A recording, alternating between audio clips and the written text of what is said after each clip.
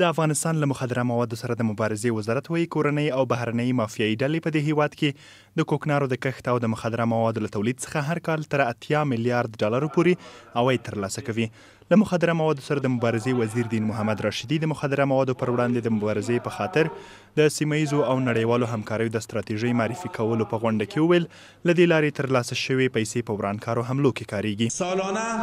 بین هفتاد تا هشتاد میلیارد. دی وایي، په افغانستان کې د کوکنارو له درکه له اویا تر اتیا میلیارد ډالرو څخه یوازې یو میلیارد یې د مخدره موادو تېرویستل شویو بزګرو ته ورکول کېږي.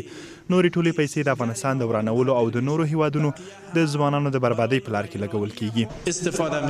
ښاغلي راشدي د مخدره موادو پر وړاندې په جدي مبارزې ټینګار وکړ او له مخدره موادو سره د مبارزې په برخه کې د یوې نوې تګلارې خبر ورکړ. له مخدره موادو سره د مبارزې وزیر دا نوې تګلاره په جوړه شوې غونډه کې د سیمې د ځینو هېوادونو استازو ته وړاندې کړه او له هغوی او نړیوالې ټولنې یې وغوښتل چې له مخدره موادو